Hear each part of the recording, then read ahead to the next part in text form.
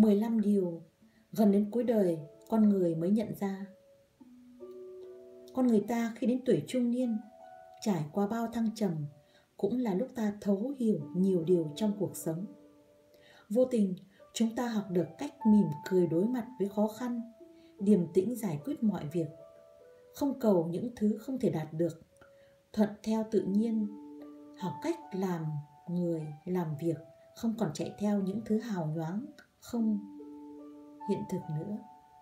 Thứ nhất, sinh mệnh và cuộc sống. Bước qua tuổi trung niên, một ngày trôi qua sẽ mãi mãi không quay trở lại. Vì vậy, hãy sống vui vẻ mỗi ngày để mỗi ngày trở nên ý nghĩa hơn. Thứ hai, hạnh phúc và niềm vui. Hạnh phúc sẽ không đến gõ cửa tìm bạn. Niềm vui cũng không tự nhiên mà có. Hạnh phúc phải nỗ lực mới có thể đạt được. Niềm vui luôn phải tìm kiếm không ngừng. Hạnh phúc và niềm vui phải dùng trái tim để cảm nhận. Có cảm nhận được hay không còn phụ thuộc vào chính bản thân bạn. Thứ ba, tiền bạc. Đừng quá coi trọng tiền bạc, càng không nên quá chi ly tính toán. Tiền chỉ như vật ngoài thân, sống để vậy, chết cũng không mang đi theo được. Nếu có ai cần sự giúp đỡ của bạn, hết lòng giúp đỡ họ cũng chính là một niềm vui. Nếu dùng tiền mua được sức khỏe và niềm vui sáng tạo, tại sao ta không làm chứ? Tiêu tiền giúp bạn hiểu được tiền có thể kiếm được thì cũng có thể tiêu đi. Hãy dùng nó để giúp đỡ bản thân và người khác. Sức khỏe là của bạn tiền bạc là con cái quyền lực chỉ là nhất thời. Vinh quang là của quá khứ còn sức khỏe là mãi mãi. Thứ năm không giống nhau. Tình yêu của cha mẹ dành cho con cái là vô hạn, còn tình yêu của con cái dành cho bố mẹ chỉ là cái gì đó hữu hạn mà thôi. Con cái bị bệnh, cha mẹ hết mình chăm sóc. Cha mẹ bệnh, con cái hỏi thăm qua loa và coi thế là đã đủ. Con cái tiêu tiền của cha mẹ, đó là lẽ đương nhiên. Cha mẹ tiêu tiền của con cái không dễ dàng như vậy. Nhà của cha mẹ là nhà của con cái, còn nhà của con cái thì không còn là của cha mẹ nữa. Không giống nhau chính là như vậy. Hiểu rằng vì con cái làm tất cả, đó không phải là nghĩa vụ, mà còn là niềm vui, không cầu báo đáp. Nếu mong muốn sự báo đáp của con cái, thì chỉ chuốc lấy muộn phiền. Thứ sáu, khi đau ốm thì trông chờ ai? Trông mong vào con cái ư? Nằm trên giường bệnh quá lâu, sẽ không còn ai chăm sóc bạn. Trông mong vào bạn đời ư? Bạn đời còn khó có thể tự lo cho bản thân, lực bất tòng tâm. Vẫn là trông mong vào đồng tiền tiền có thể mua được sức khỏe.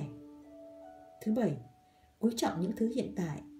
Con người thường không biết quý trọng những thứ mình đang có và luôn có niềm mong muốn mãnh liệt với những thứ chưa đạt được. Hạnh phúc và những điều tốt đẹp trong cuộc sống sẽ là của bạn và tùy vào cách bạn cảm nhận nó thế nào. Thứ tám, luôn có một tâm thái vui vẻ cuộc sống luôn công bằng, biết đủ thì luôn hạnh phúc.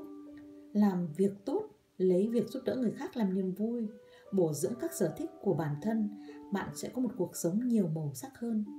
Dùng tâm thái bình tĩnh đối vật, đối mặt với mọi điều, chỉ như vậy bạn mới luôn vui vẻ, khỏe mạnh. Thứ chín, đơn giản, bình thường mới là thật. Quyền cao, chức trọng thì được hưởng lộc, nhưng thường dân lại chiếm số đông hơn. Số ít chưa chắc đã hạnh phúc số đông vì thế không cần phải tự ti. Con người vốn không phân cao, thấp, sang hèn, chỉ cần phấn đấu hết mình vì sự nghiệp cũng coi như là đã có cống hiến. Hơn nữa, bước qua tuổi trung niên, chẳng phải ai cũng đã về gần với thiên nhiên rồi sao? Ai cũng giống nhau cả.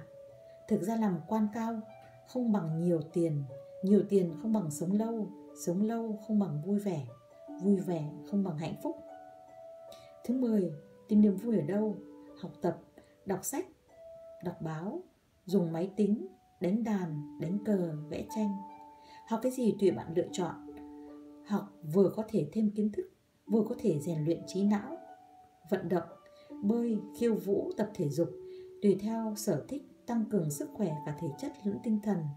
Giải trí, đánh mặc trượt hát thò bơi lội, chỉ cần bản thân, thích đều có thể chơi, kết giao thêm bạn bè kết bạn Cuộc sống về già nên phong phú hơn. Chỉ có vài người bạn thì không đủ. Cần có một nhóm bạn già. Bạn bè sẽ giữ cuộc sống của chúng ta thêm màu sắc, bớt cô đơn. Công thức để có một gia đình hạnh phúc. Yêu thương, tôn trọng nhau, biết cách quan tâm và chia sẻ, thấu hiểu và bao dung bằng gia đình hạnh phúc. 12. Sống vì bản thân mình Nửa đời lo nghĩ cho cha mẹ, con cái, gia đình Thời gian còn lại nên sống một cuộc đời dành cho riêng mình Sống thật vui vẻ, làm những việc mình muốn làm Hưởng thụ cuộc sống, đừng quan tâm đến những điều người khác nói về mình 13. Đối mặt với đau khổ Chịu đựng, chấp nhận và vượt qua nỗi đau đến cuối cùng Vẫn phải dựa vào chính bản thân mình Quan trọng là trong thời gian đó bạn chọn cách sống như thế nào 14. Thuận theo tự nhiên Nếu bạn đã dùng mọi cách mà vẫn không thay đổi được hiện tại, chán nản, vậy thì hãy để thuận theo tự nhiên đi. Đây có lẽ một cách giải thoát. Bình thường không thể nào làm được thì đừng có ép bản thân. 15. Bình thản đối mặt với sự ra đi. Sinh, lão, bệnh tử không ai có thể tránh khỏi cũng như không thể kháng cự nếu ngày nào đó phải đến bạn hãy dùng tâm thái bình thản nhất để đối diện với nó mỉm cười chào đón con người ta khi qua nửa đời người mới cảm nhận được cuộc sống rất đơn giản. Bạn hãy hết mình hưởng thụ cuộc sống của chính mình, bạn nhé. Chúc các bạn thật là hạnh phúc.